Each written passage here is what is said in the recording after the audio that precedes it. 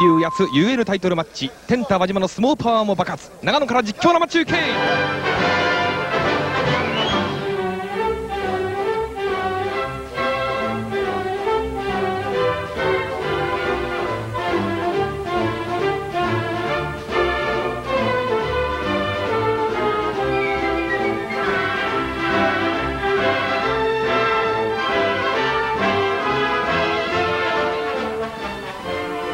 この放送は札幌ビールとご覧のスポンサーの提供でお送りします。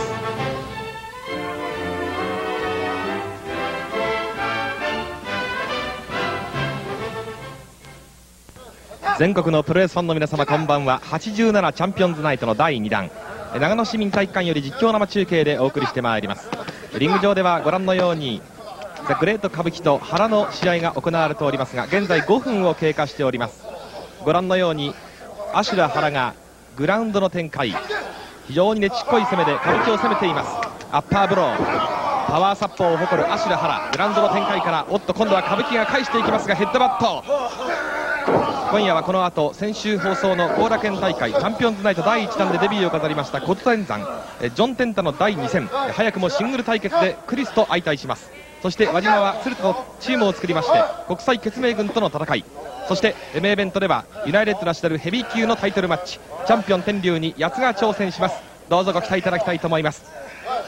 今夜の解説はおなじみの山田隆さんです。山田さんどうぞよろしくお願いいたします。どうぞよろしく。えそして馬場選手にも後ほど放送席へ来てもらうことになっています。さあここでザ・グレート歌舞伎のバックドロップが炸裂。せずして歌舞伎コールが起こっております。長野市民体育館。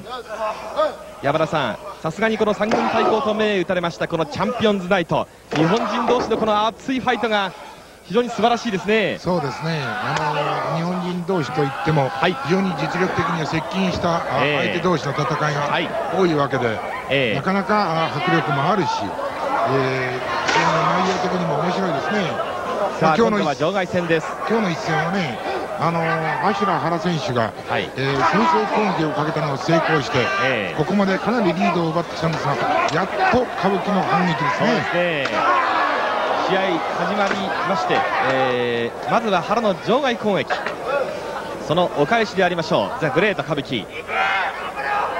この試合2回目の場外戦を制しまして先にリング上に上がりました。これがザ・グレート歌舞伎。そしてリングの周り徘徊いたします。芦田原。どうやら椅子を持ったようだ本部席の椅子を持ってこれをザ・グレート歌舞伎に投げつけんといたしました芦田原であります。まあ、このクラスのね、百戦錬磨のつわものどりの戦いとなると、ええ。場外戦にもそれなりの味があるんですが、はい。やはりリングの中で正々堂々と勝負をしてほしいと。そうですね。いうのがファンの願いでしょうね。はい、山田さん、このチャンピオンズナイトの第1弾、後楽園大会では天竜との一騎打ち、まあ惜しくも原反則負けという、まあ、アクシデント含みの結果になりましたが、非常にいい試合をしましたもんね。そうですねはいなかなかね、あの、えー、あー急承知ですね。原選手というのはね、はいえー根性が座ってますし、ええー体調がいい時の原選手というのは実に素晴らしいですからね。そうですね。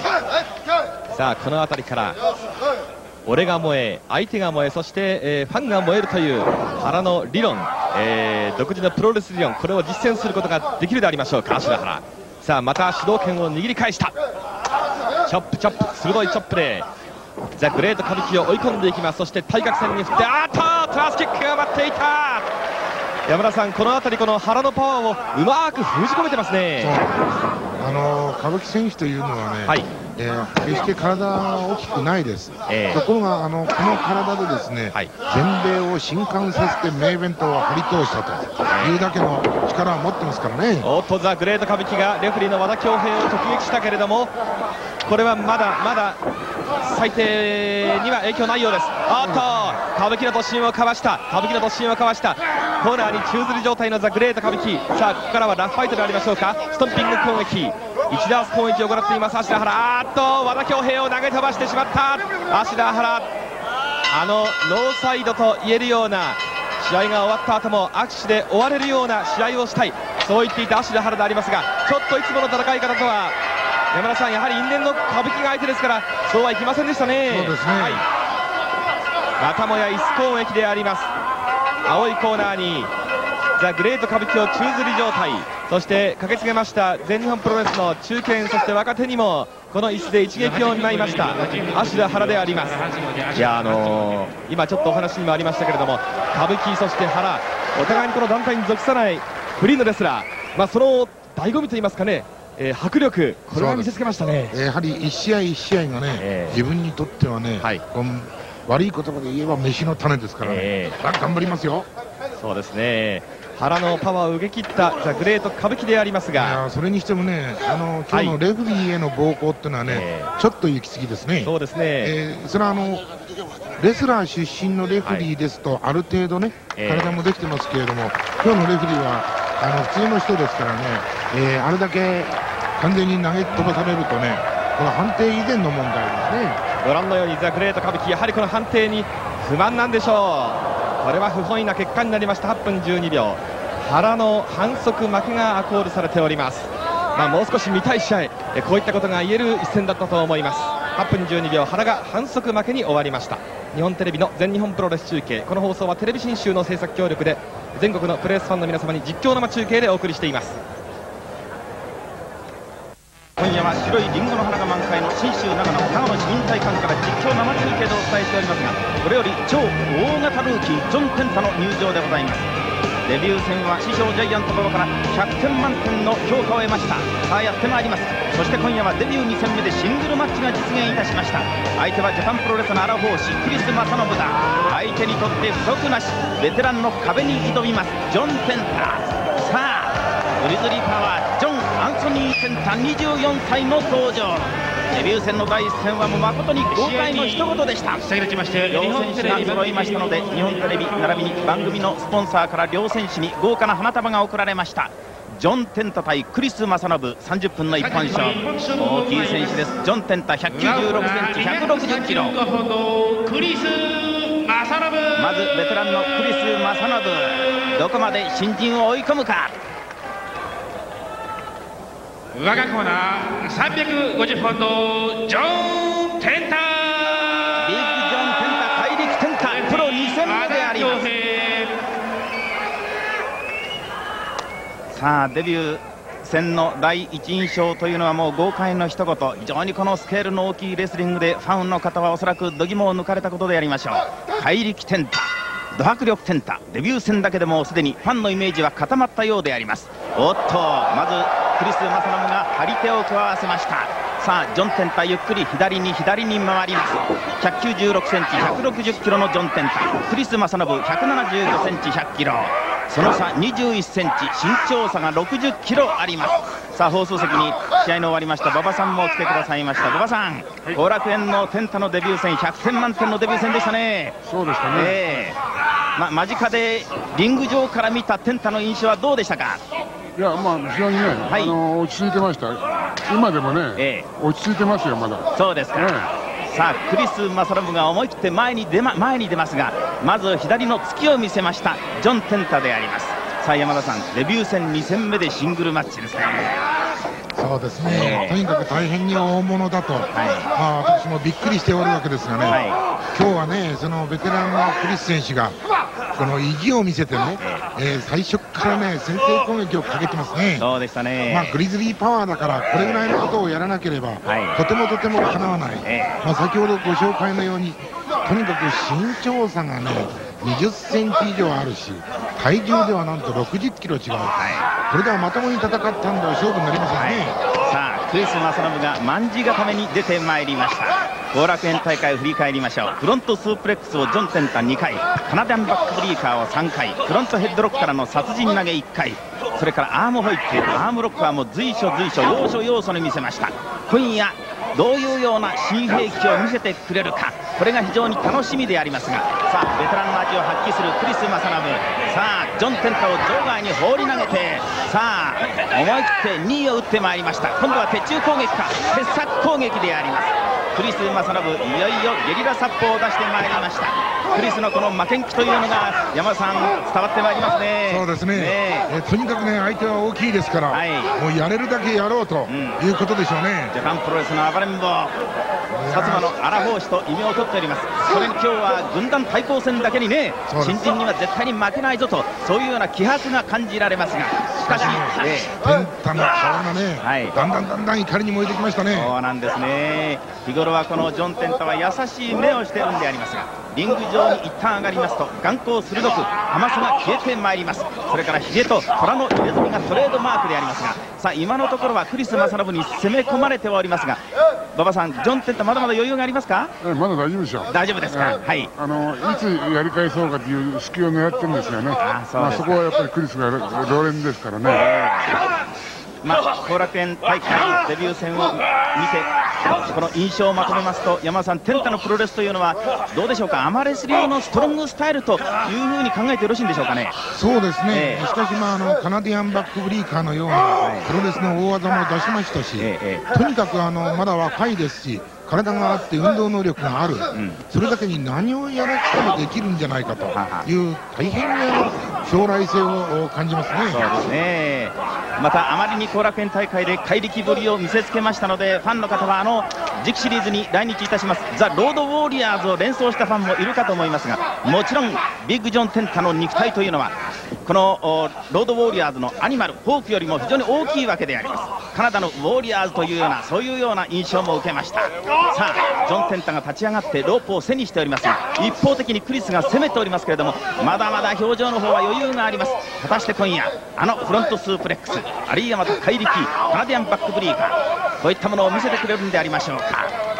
後楽園のデビュー戦の試合は母国カナダにも AP 通信を通じましてデビュー戦の模様が伝えられました。カナダバンクーバーに住んでおります母親のアイリーンさんどういう思いでこのジョン・テンタのデビュー戦を見たことでありましょうか？さあロープを背にしておりますがアマチュアの経験も十分にありますのでこう追い込まれましても山田さん非常に落ち着いた雰囲気ですね。うん、そうですね。えー、まあ今までのところね、はい、わずかにあのクリス選手の背中への肘打ちを2発、えー、これぐらいですね。そうですね。さあ逆水平を見せてきた。さあ思い切ったチョップだチョップ攻撃だ一気に逆転かさあ今度は思い切って反対のロープに叩きつけたおっとカウンターのエルボーですね。そうですね。ちょっと珍しい肘打ちなんですけども馬場さん今のエルボーどうでしょうか？エルボーっていうのもね、まあ、タックルなんですよね。あタックルですか。肩が当たってるんですか。あなるほど。こういう左半身から入るわけですね。入ってますね。なるほど。左からのタックルを見舞いました。ジョン・テンタです。さあ担ぎ上げたぞ。さあ担ぎ上げたぞ。ジョン・テンタの怪力160キロのパワー。身長が196センチあります。まさにカナダの暴れ熊であります。さあ一気にクリスマスラブの動きが止まりましたがさあクリスマスラブも思い切って攻めていきます。前に出れます。けれみのない今日は勝負を挑んでいるクリス。なんとかこの大物ルーキーから1勝を取りたいという気迫。さあジョン・テンタも返していきました。ジョン・テンタも返していきました。さあ相手は小兵クリス・マサノブだ。もう力では圧倒的にジョン・テンタが上回ります。このタックル。おっとクリス倒れません。今度はちょっと変幻自在の攻撃に変えてきましたか。さあキックを打ってまいりました。リングの中央ロープに逃れることはできません。さあサイドのヘッドロック。グリグリグリグリ。これこそ暴れグラムのパワーだ。グリズリーパワーを見せつけているジョン・テンタであります。さあここからどういう流れを作っていきますかね山田さんね。そうですね、ええ、まああのタイミング的にはね、はい、もう今の体当たりでね、はい、クリス選手が参ってますからもう大台行ってもいいんですがね、ええ、どういうふうなタイミングをつかむかですね。そうですね。さあここで思い切ってパワースラム。豪快に決めた。そのままそのまま抑え込んだ。おっとカウント2で必死でクリスマスラブ跳ね返しました。パワースラムを見せました。これまた新兵器そしてカナディアンという異常な雰囲気に包まれました。長野市民体育館ちょっと汗で滑りましたか？今の馬場さんタイミングどうでしょう？いやタイミングありませんでクリスがよく逃げましたよね。逃げましたね。必死でもがき苦しんで逃げました。今度はオープンフロントスープレックス豪快に決めたこれで勝負はカウントスイすごいすごいフロントスープレックスです。いや見事に見せました。デビュー2戦目。デビュー戦はリングアウト勝ち今夜はクリス・マサノブにも圧勝であります。馬場さん、どうでしょう、まあ、最初ね、やっぱり攻められ、はい、攻め込まれるとね、やっぱりい。つその自分が、ね、あの攻めに行くかというタイミングのつかむポイントはまだ分かりませんけどね、ええ、やっぱ自分のペースに持っていったら、もうこの怪力と体力ですからね、はい、もうやっぱりクリスは太刀打ちできないですよね。そうですね。でね、やっぱりパワースラムとか、こういうスープレックスはね、もう本当にどうに言ってますからね。はい見事なスープレックスを見舞いまして勝負の方はジョン・テンタフロントスープレックス6分30秒。スロービデオをご覧いただいております。非常にいいタイミングで投げ切りました山田さん。見事ですね。そうですね、えー、もうスピードといい角度といいね、はい、もう文句のつけようはないですね。そうですね。とにかくあのベテランのクリス選手が、はい、もう策がないよという表情でリングの上でへたり込んでますからね。デビュー2戦目を飾りましたジョン・テンタであります。日本テレビの全日本プロレス中継。今夜は長野市民体育館からテレビ新州の制作協力で全国のファンに実況生中継でお伝えしています。天太選手がデビュー2戦目を華々しく飾りましたので輪島も負けていられません。長野市民体育館いよいよ輪島の登場でございます。今夜は鶴田とのコンビのタッグマッチ。輪島もいよいよ本格的な日本人構想に突入いたしました。先週は八つ中野組。今夜は手ぐすね引いて待っておりました国際決命軍木村鶴見と対決であります。輪島選手のゴールデンウィークはもう大変な忙しさ子供たちを相手にプロレス談義に花を咲かせました。その後沖縄にミニキャンプ早速沖縄に輪島講演会も発足いたしました。さあ今夜パートナー鶴田とのコンビネーションでいよいよ国際決命軍潰しにやってまいります。さあ堂々の入場ジャンボ鶴田輪島博今登場してまいりました。勝負タイムは45分一本勝負。熱狂的な長野信州長野のお客さんに迎えられました。輪島ジャンボ鶴田組であります。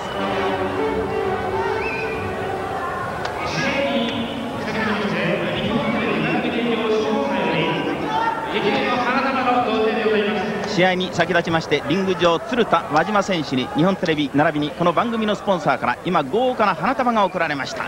この後国際決命軍団ラッシャー木村鶴見五郎が登場してまいります。さあ輪島との対決昼間と木村と鶴見。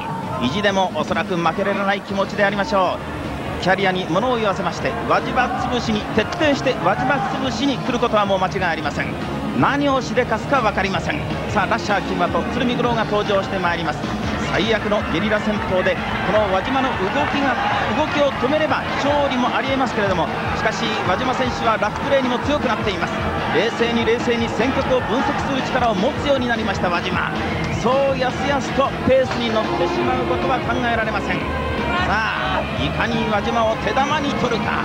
木村鶴見悪の戦法にどうぞご注目ください。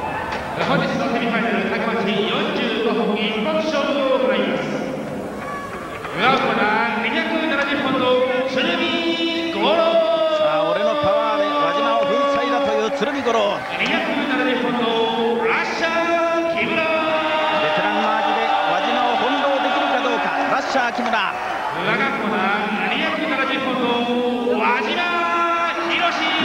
日本人構想でも確固たる位置を築け輪島輪島博ジ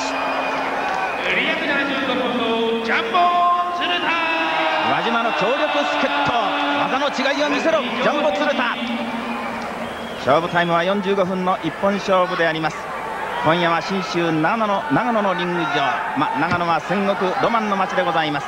武田信玄上杉謙信がともに3万3000の兵を率いて死闘を展開した川中島湖戦場。八幡原は千曲川と犀川に挟まれました中洲が主戦場でございました。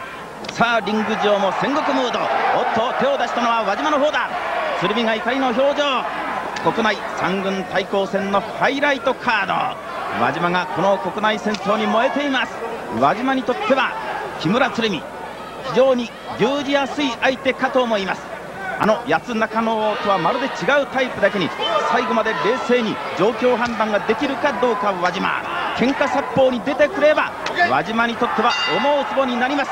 さあ輪島が出てまいりました。輪島対鶴見五郎の対決であります。おなじみの黄色いトランクス。さあ飼いな力をまず見せます。輪島の表情であります。馬場さんこの輪島にとってはジャンボ鶴田とのタッグチームを作っての2連戦ともに対決になりましたけれどもこれもやはり全日本プロレスのエースになるための登竜門ですかね。そうですね。えー、ね、もう輪島もね、はい、あのー、ジャンボのリードも必要なくなりました。誰のリードも必要なくなりました。えー、本人の考えだけでね、はい、誰とでも対戦できるようになりましたね。ああ、そうですか。華麗なる巻き投げ、さあごぼう抜きを展開する、その輪島博でありますが、山田さん、あのー、先週ご覧いただきました八つチームとの対決ですけれどもレスリング対レスリングで勝負をしましたね。そうですね。どう見ましたか？いやなかなかね、えー、あのー、素晴らしい、ね、内容だったと思います、はい、ですから私はあの最初ね輪島選手は喧嘩ファイト一本やりでいくのかと思ったんですが、えー、やはり密かにトレーニングもしてるし、はい、レスリングで来るなら来いというだけのね、はい、えー、技術を持ってますね。なるほど。さあ輪島が接近戦を挑んでいます左の足の位置は馬場さんどうですかこれ？いやそうですね、あの、ええ、鶴見がね、もうこういう技をかけられるなんていうことは夢にも思ってなかったでしょうね。あそうですね、ちょっと崩れかかっておりますが、さあバランスをとって、今度はジャンボ鶴田のコーナーに連れてまいりました。余裕を持ってジャンボ鶴田にタッチ。このタッグワークが非常にうまくなってまいりました。まだまだちょっと心配なところがあると言っておりました。この先輩方のジャンボ鶴田でありますが、しかしチームを作っておりますと非常に頼もしいんだということをジャンボ鶴田が言っています。さあ鶴田の登場であります、まあね、今までの輪島はね、はい、あの何かされたらなんかちょっとあのこけるんじゃないかというような不安もあったんですがね、はいはい、もうそういう心配はもう何もなくなりましたからね、はい、一人でほっといてもう大丈夫になりましたからね。そうですか。安心して見たらいいんですよね、はい、放送席でも笑顔でこの輪島の試合を解説しておりますジャイアント馬場であります。ジャイアント馬場さんであります。さあ今度はラッシャー木村が出てまいりました。しかし馬場さん今夜もしこのベテランのラッシャー木村が輪島を手玉に取るようなことがあったらおそらく放送席の馬場さんにもっと輪島を鍛えろとまたアピールするかもしれませんね。そうですね。ねねもう輪島もねもうそう舐められるようなことはないですね、はい、ジャンボ鶴田とラッシャー木村であります。絶好調のジャンボ鶴田。妥協なきストロングファイトはもう次なるターゲットを求めています。次期シリーズは第37代インタータッグ王者ザ・ロードウォーリアーズがやってまいりますので鶴田にとっては最大の敵であります。山さんリターンマッチで是が非でもベルトを奪回しなくてはいけませんね。そうですね、えー、まあ大きな目的を抱えているだけにね、はい、今の鶴田選手の好調ぶりっていうのはね、えー、非常に頼もしいですよね。そうですね、えー、さあこのタッグマッチ非常にやる気を見せます輪島一歩前に出て俺が相手だと言わんばかりリング上に踏み込んでまいりました。馬場さんこの姿勢頼もしいじゃないですか。そうですね。ね、うん、いいですね。タッグの味というものが山田さん分かってきたようですね。そうです、ね、先ほどあの鶴田選手につないだ時もね、はい、本当にうまかったですうまかったですね。さあ輪島が燃えます。すごい勢いでワンダース攻撃を見せました。さあ始まったぞ。輪島ラッシュだ。輪島ラッシュだ。さあ木村をロープに釘付けスリミンの一撃。さあ今度はストンピングのワンダース攻撃が始まった。本当に素晴らしい。この輪島宏力がみなぎっています。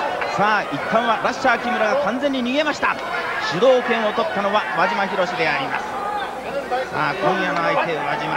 輪島選手はいよいよ次期シリーズタイガージェットシン。この対決が待っておりますけれども今夜の対決は山田さんひょっとすると真島の頭の中はタイガージェットシーン打倒を考えたのかもしれませんね。そうですね、えー、しかしねあの普通ね、はい、今なんか深追いするとこですが、はい、あれをじっくりこらえるあたり心にくいですね。本当ですね、はい、次期シリーズは5月の15日後楽園ホールで開幕。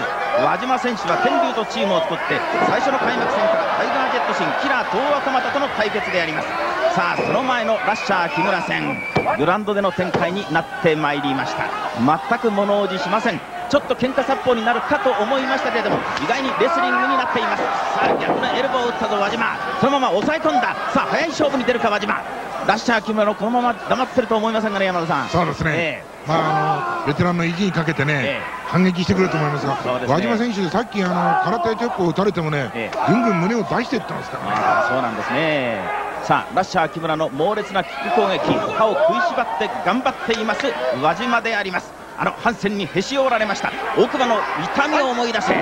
さあ今度は思い切ってトップロープから鶴見が出てまいりました。ロープに飛ばされた5本突きだ。すごい指突き。さあそしてパートナーのジャンボ鶴田にもちょっとちょっかいを出しました。さあゲリラ戦法だ。鶴見の右手。鶴見の右手。鈍く光ります。さあ思い切ってチェーンで巻いた拳打ち。こういうラフ戦法にはしかしタイガー・ジェットシンの戦いでもう慣れているはずであります。免疫ができているはずであります。どういうふうに冷静にこのラフ戦法をこなしていくか。さあ輪島。まずはカバーの体勢。鶴見五郎であります。表情を見てましても本当に冷静。常に輪島の目はパートナーのジャンボ鶴田を見てますね山田さん。そうですね、えー、あのータッグのね、うん、試合のね基本というものを実によく守ってますね。なるほどね。えーさあ悪闘ファイトゲリラ戦法得意の鶴見。木村どうさばいていくんでありましょうか。さあだんだんにゲリラ戦法を出してまいりました。ラッシャー木村と鶴見五郎。相手の陣内であります。ブルーの陣内は国際血明軍陣内だ。さあラッシャー木村を呼び込んだ。輪島が一旦立ち上がった。長野市民体育館輪島コール一色。人気があります。おっとラッシングラリアット。一旦は倒されたがそれほど迫力のあるラッシングラリアットではありません。さあジャンボ鶴田がカットに出てまいりました。いいところでカットいたします。ジャンボ鶴田。さあ今度は足を持ってラッシャー木村から豪快な P フォールを取れるかどうか。長野のお客様はゴールデンネックブリーカードおっと足4の字。足4の字。テレビ初公開。馬場さんいかがですか、えー、まあね、ま、真島の左足がちょっと入りが足りないですね、えー、まあそれにしましてもすんなりといったんじゃないですかね。馬場さん。いやまさかね、え。ー、こういう技を出してくるともうちょっと思うあのスピングトーホールドかなと思ったんですけど、ね、いきなり入りましたね。入りましたね、うん、確かに左足のフックがね甘かったですけども、はい、とにかくやりましたね。やりましたね。次から次へ新兵器をもうろしから今度はジャンボ鶴田の出番だ。さあ鶴田のもターゲットは決まっている。ザ・ロードウォーリアーズだけに絞っています。さあ鶴田とラッシャー木村。さあ再び技の違いを見せるか。長野市民体育館のお客様ゴーゴーたる声援に変わってまいりました。今度は今度はラッシャー木村だブルドッキングヘッドロックリングの中央ロープまではかなり距離があります。さあ思い切って今度はラッシャー木村と鶴見五郎が再び2人で悪の戦法を用いますがうんもう余裕の表情でありますが今度は反対にジャンピングに。ジャンボ鶴田のジャンピングに。しかし鶴見がパワーで持ち上げた。そしてあーっと急所への攻撃か。内股を狙っております。さあ太ももの内側を狙っておりますがラッシャー木村あっと鶴見五郎今度は今度は今度は脳天食い打ち脳天食い打ちの洗礼を食いましたがジャンボ鶴田全然たじろぎません。今度は対角線上に思い切って放り投げた足でキック。すごい。そしてジャンボラリアット猛爆。そのまま抑え込みが輪島はまだ出てまいりません。さあとどめを取るのは輪島か。余裕を持って輪島に渡します。ラッシャー木村を場外。さあさあまずは相撲をタックル輪島絶好調だ待っているぞ輪島に鶴見五郎どうやら鶴田が渡します。さあもう一回おっとラリアットに行ったそのまま覆いかぶさる輪島黄金の左が気を吹いたカウント3が入りましたジャンボ鶴田輪島チームが国際決命軍団を素晴らしいあうんの呼吸見事に切って取りました。ラッシャー木村鶴見五郎チームまだリング上に伸びておりますが馬場さん一言今夜の輪島どうです？まあいやあの2人ともねいいコンディションでしたしね、はい、あのコンビネーションも良かったですね、えー、これで馬場さんタイガージェットシン打倒タイガージェットシンに切り込んでもらいたいですがね。そうですね、もうあのシンのね、はい。えー、ラスト時のもう輪島が耐えられるでしょう。馬場さん、木村が来ました。お前らこの野郎お前の弟子があれで勝ったと思ったらこの野郎お前しかいたぞこの野郎てめえから勝負したらこの野郎いいかこの野郎今日は解説のジャイアント馬場さん無謀の体でありますがラッシャー木村選手がまたまた今度はやっつけてやるぞとジャイアント馬場選手にアピールを行いました。通算5度のジャイアント馬場木村戦も終わっておりますが馬場とは勝つまで死ぬまでやるんだというラッシャー木村のアピールでございました。勝負の方は8分19秒。ジャンボ鶴田輪島宏チームがラッシャー木村鶴見五郎チームを打ち破った勝負でございました。なおこの後はアメリカボルチモアで行われましたタッグ五輪2のハイライトをお送りし続いて天竜対八つのユナイテッドナショナルヘビー級選手権をお送りする予定になっております。日本テレビの全日本プロレス中継。今夜は長野市民体育館からテレビ新州の制作協力で全国のファンに実況生中継でお伝えしています。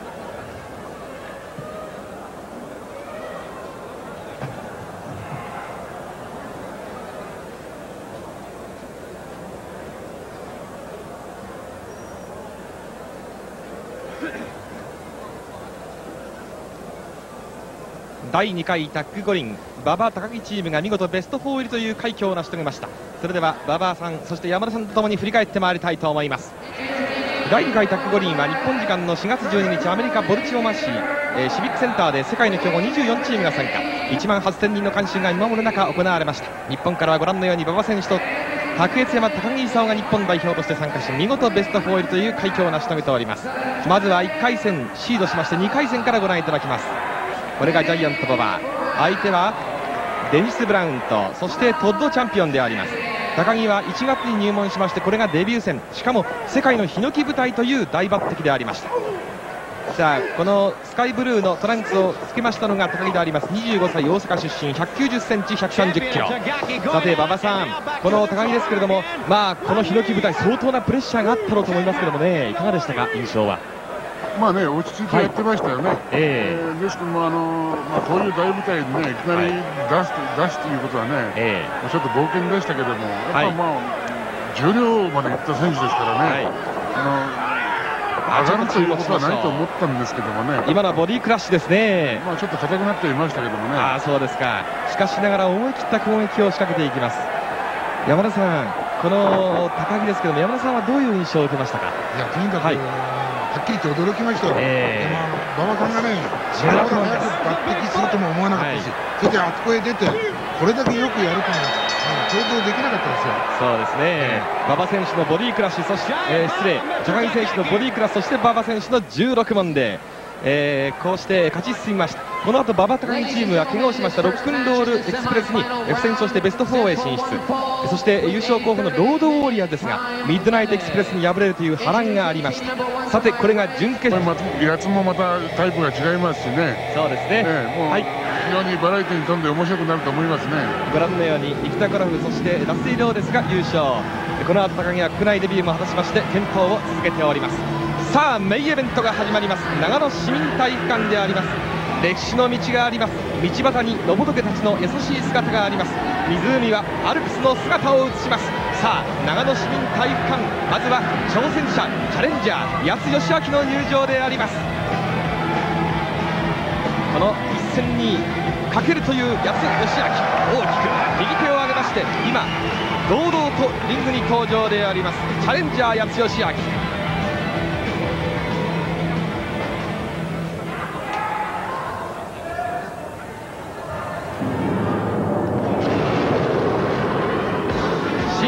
は生まれたての空気で溢れております。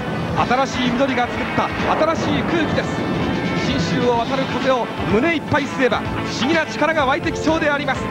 さあ待ち受ける八津義明の表情。さあチャンピオン天竜源一郎の入場を待ちます。ジャパンプロレスの命運を受けましてこの大一番に臨みます八津義明そして受ける脱ユナイテッドナショナルヘビー級チャンピオンの天竜。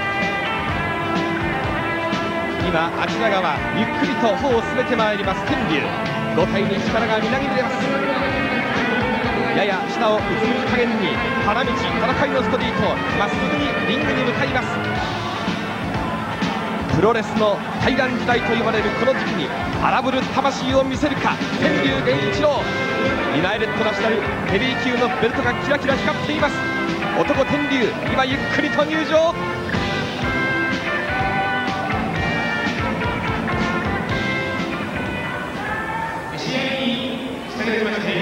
テレビ番組提供スポンサーにより四テレビに花束の贈呈でございます。試合に先立ちまして日本テレビ並びにテレビ新州並びに番組のスポンサーより両選手に豪華な花束が贈られました。メインイベントユナイテッドナショナルヘビー級のタイトルマッチ60分の一本勝負。タイトルマッチ宣言です。これがチャンピオンの天竜黄金に輝くユナイテッドナショナルヘビー級のベルト天竜の代名詞にもなりました。そして八津義明じっと天竜の方を見合っています。視線は外しません。そしてまた鋭い視線を返した天竜。対角線上早くも火花が散っております。ベルトの返還。5回目のこれが防衛戦になります。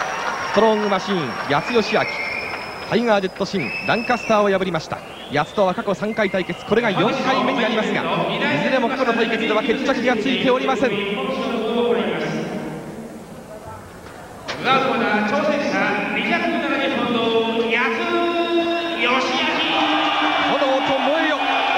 安安義明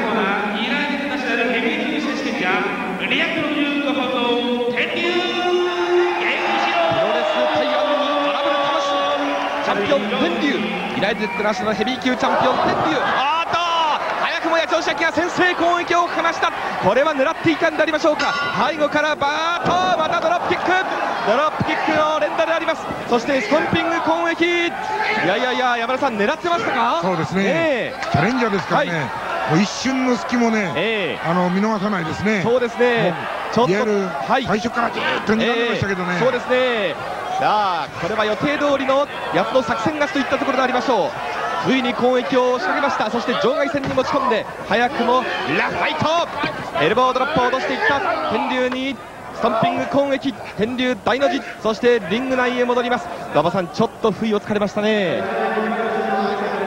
さあ谷津嘉章の方が早くもリングの中に戻っています。そして今天龍も戻りました。山田さんこのジャパンの火を守る谷津にとりましては最大の試練ですからねこの試合は。そうですね、はい。とにかくあの倒すということ、えそれと同時にベルトを取るということ、はですから試合の前、本当にすごい気迫で睨んでました、そね。れに対して天竜もね、はい。えー来るのが来いという姿勢ええだったんですが、一瞬の気をつかれましたね。はい。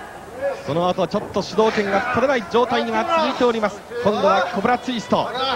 背後からスルスルっと忍び寄ってそしてコブラツイストであります八千代明この天竜は前のシリーズでユナイテッドナショナルの防衛戦がなかったもんですからこれは満を持しての、まあ、対決ということになりますね。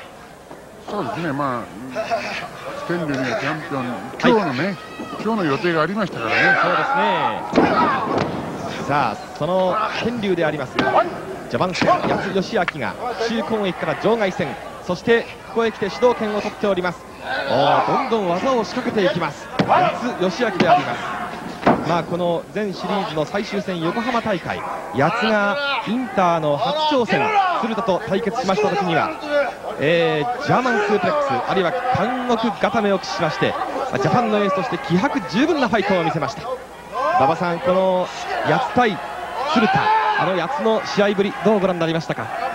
いやあのね、もう八つのね、あの意気込みは分かりますよね、ええ今でもね、まあ、あの鐘が鳴ってから攻めてほしかったですがね、まあ、鐘前鐘も鳴る前ですから、ゴングの鳴る前ですから、天龍もちょっと油断があったと思うんですがね。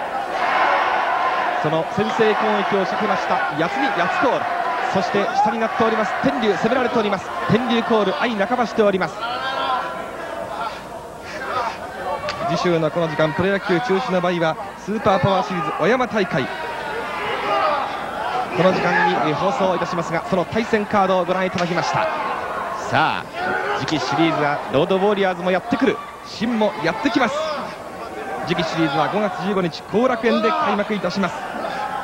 さあ両者ちょっと距離が空きました。まあここでやっぱり天竜がこうやって休むでしょ、ええ。八つがせっかく今までせ攻めまくってきたんですからね、はい。ここで休ませちゃいけないんですよね。なるほど。さあしかしながら一つ一つ確かめるようにああ山田さんグラウンドの展開へ持ち込もうとしてますね。当然ですね、はい。ですから八津選手はどちらかというと技能派なんですから、えです。最初こそあの先制のラフ攻撃を仕掛けましたけれども、はい。自分のペースに持ち込もうとするには、はい。やはり、えー技でいくでしょうね。なるほど、まあ、この八代明選手、えージャンボ、鶴田との戦い、まあ、ジャンボは簡単に倒せる相手ではない、だからやりがいのある相手だ、こっちは上り坂、向こうは平行線、こういうふてぶてしいことも言っております、そしてまた対戦した鶴田選手は、その成長を認める発言もしております、そしてまたその試合を見ていたこの天竜は、八つは変わった、そして打たれ強くなった、このように評価しています。まあ、一方の天竜ですが、馬場さん、この先週放送の後楽園のチャンピオンズナイト、えー結果はまあ反則勝ちだったんですが、田原戦、これはあの天竜、いいファイトをしましたね。そうですね、まあ、もう少し本当に見たかったですね。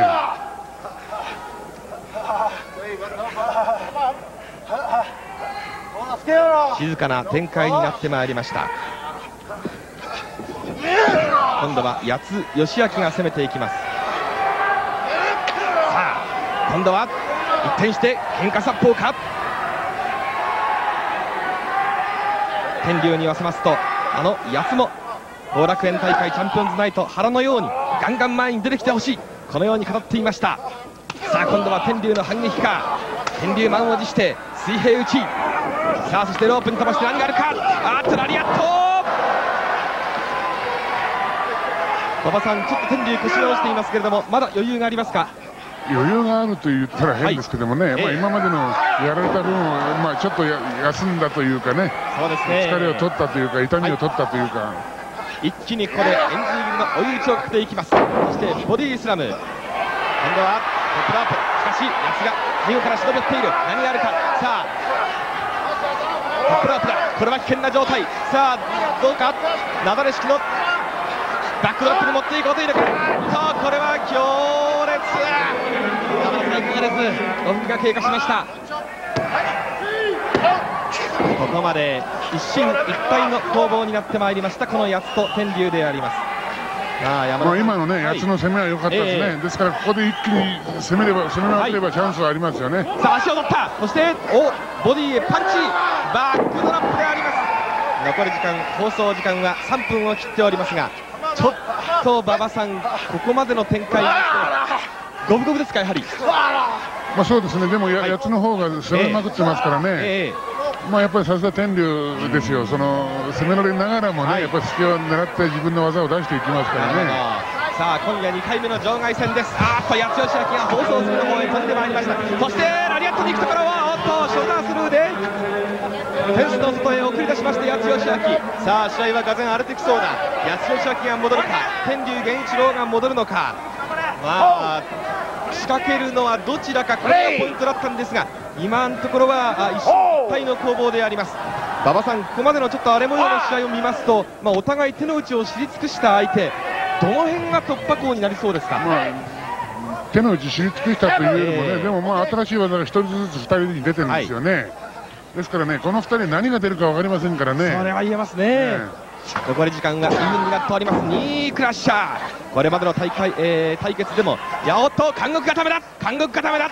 残り時間2分を切っておりますがここでギブアップを奪うことができるか。そうしますとユナイテッドナショナルヘビー級チャンピオンニューチャンピオン誕生ということになります。さあどうだ？馬場さん入りましたか？そうですね。入りましたね。この足のフックの具合は馬場さんいかがですか？完全に決まってますね。はいはい、えー、入ってますね。さあ八代市はここで監獄固めを出してまいりました。馬場さんこれはどこが決まってるわけですか？いやもう膝もね、えー、膝と股関節ですね。ああ全て決まってるわけですね、はい、ああこれは馬場さん今のところロープブレーキしか方法がありませんか？おっと今下から突き上げました出すの方がやはりロープブレーキということにロープまでもね距離がね。動けないでしょはい。ですから今の攻撃は良かったですよね。まるでこの虚しく手が空中をさまよっておりますが全く動くことすらできません天竜源一郎。山田さんちょっとこれは危険な状態。そうですね、えー、早く抜け出さなきゃいけませんね、えー、中央部に近いですからね、はい、なかなかこれまロープまで張っていくってことは無理ですよね、えー、しかしながら必死にうまいです下からこうなったら喧嘩殺法だ天竜が行く天竜が行く。さあ喧嘩なら受けるだ天竜が行きます天竜が行きます。あーエンズイ。がヒット残り時間30秒であります。放送時間。さあ最後までお伝えすることはちょっとできないなりましょう。そしてまたこの展開、えー、先行きどうなるか。全く予想だにつきません。次期シリーズにはロードウォーリアーズもやってまいります。5月15日後楽園で開幕。そしてロードウォリアーズ新蒲田も来日します。インタータッグ奪還は天龍の使命であります。さあ残り時間10秒です。放送時間ほとんどなくなりました。残念ですがこの辺で長野からお別れしたいと思います。山田さん馬場さんありがとうございました。どうも。スーパーパワーシリーズは5月15日後楽園ホールで開幕。16日小山23日船橋30日高松6月1日金沢8日福岡9日日本武道館。そして最終戦は11日大阪府立体育会館です。来週のこの時間プロ野球中止の場合87スーパーパワーシリーズ鶴田天竜組対新飼育組八つ中野組対蒲田ワインゲロフ組輪島対スタイガーを小山遊園地スケートセンターより実況生中継でお送りします。